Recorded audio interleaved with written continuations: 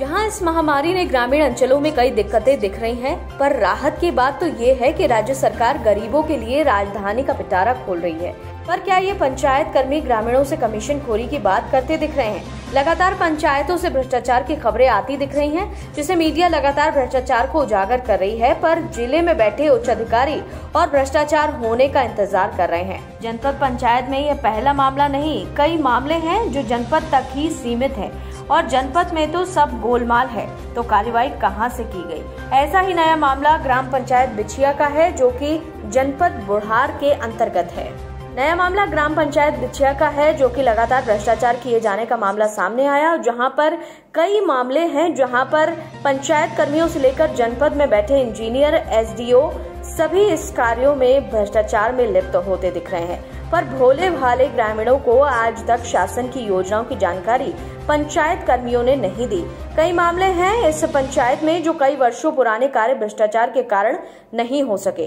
नए काम तो तीन दिनों में पूरे हो गए पर अगर मटेरियल की क्वालिटी चेक की जाए तो सब गोलमाल दिखेगा। शेडोल से संदीप तिवारी की रिपोर्ट। क्या नाम है आपका? विमला। पूरा नाम? विमला कौन से ग्राम पंचायत से? बिछिया। बिछिया ग्राम पंचायत। बताइए क्या समस्या हो रही है आपको अभी? ए, तीन बेरी मोर फ़ोटो खींच के लगे न मुझे घर मिलिस न लेटरिंग मिलिस। आवास योजना आपको नहीं मिला? नहीं मिला। क्या बोलते हैं पंचायत कर्मी?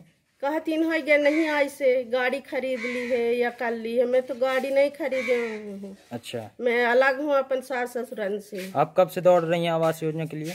आए तीन चार महीना हो गया। तीन चार महीने से। हाँ। आपका नाम आया है आवास में? हाँ जब नाम लिख के लगे हैं तो काहे नहीं आए? अच्छा लेकिन अभी आए ए, दे नहीं रहे हैं आप। हाँ। जिसमें मेरे दोनों सेक्रेटरी बोले हाँ। कि कुछ पैसा चाहिए। हाँ। जिसमें बोला कि मेरे पास पैसा नहीं है हाँ। तो बोला कि उसी में से कट जाएगा। अच्छा। पाँच हज़ार रूपया हम लेंगे। हाँ। तो मैंने दिया। एक आवास दिलाने का आपसे पाँच हज़ार पाँच हज़ार रूपया लिया। जिसमें ये- मेरा पिताजी का आया और मेरा आया। ये पैसा किसने लिया है? ये सेक्रेटरी लोग लिए। सेक्रेटरी सेक्रेटरी क्या नाम है? दिलीप है हाँ। और ये उनको नहीं जानता हूँ तरिया वाले का। अच्छा। हाँ। बिछिया के सचिव है? हाँ।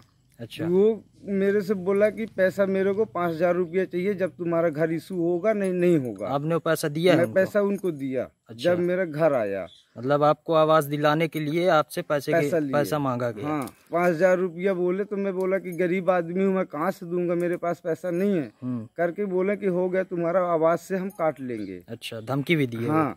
कि अभी अब आपके पास पैसा नहीं है हम्म। तो हम आवास आएगा तो उसमें से काट लेंगे करके